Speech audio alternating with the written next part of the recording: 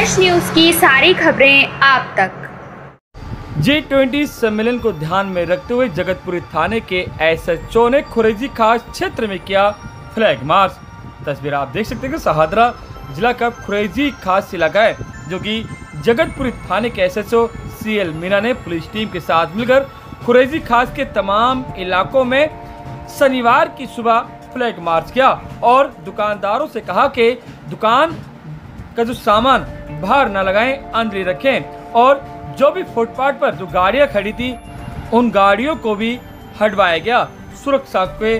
मद्देनजर देखते हुए। तस्वीर आप देख सकते हैं कि जगतपुरी थाना क्षेत्र है, जो कि खुरेजी खास इलाके का परवाना रोड, खुरेजी चौपाल, पटपरगंज रोड, इन तमाम इलाकों में S H O C L Meena ने पुलिस टीम के साथ मिलकर फ्लैग मार्च किया और जनता से अपील की अगर कोई भी संदिग्ध वस्तु या संदिग्ध व्यक्ति दिखाई दे तो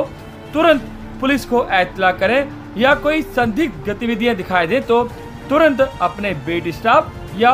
पीसीआर कॉल 112 पर कॉल कर सकते हैं।